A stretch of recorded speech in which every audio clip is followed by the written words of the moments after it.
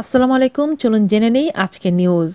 কবির মিত্রের বাসার প্রধান ফটকে আল্লাহ ও কালেমা তয়েবা লেখা কেন জানতে চাইলে তিনি যা বললেন।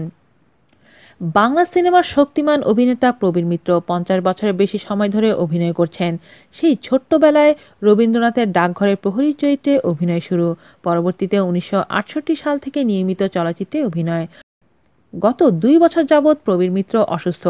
এখন আর অভিনয় করতে পারেন না। সেগুন বাগিচার ছোট্ট ফ্ল্যাটেই কাটে, তার দিন বাইরে যেতে পারেন না। সম্প্রতি প্রধানমন্ত্রী শেখ হাসিনা তার চিকিৎসার জন্য পঁচিশ লাখ টাকা অনুদান দেন। প্রবীর মিত্র জানালেন, এই টাকা দিয়ে তার চিকিৎসা ভালোভাবে চলছে।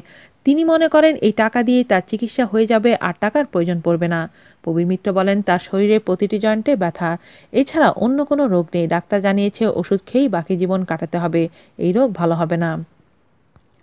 প্রবীর মিত্র বলেন দু হাজার সালে স্ত্রী মারা যাবার পর থেকে একাকিত্বের জীবন শুরু। তবে এতদিন যেহেতু অভিনয়ে ব্যস্ত ছিলাম, তাই মোটামুটি কেটে গেছে সময়।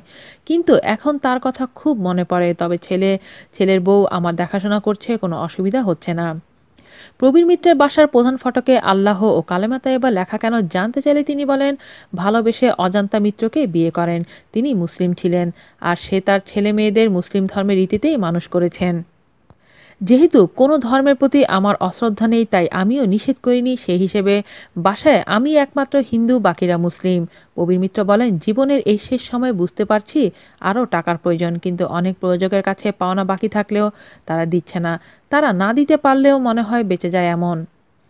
নতুন যারা আসছে, তাদের সম্পর্কে তিনি বলেন, নতুনদের মাঝে অভিনয়ের প্রতি দরদ কম। তারা আসছে, অভিনয় করছে, আবার চলে যাচ্ছে। অভিনয় যদি টাকাটাই প্রধান হয়ে যায়, তাহলে আর সেটা অভিনয় থাকে না। আজ এ পর্যন্তই। আল্লাহ হাফেজ।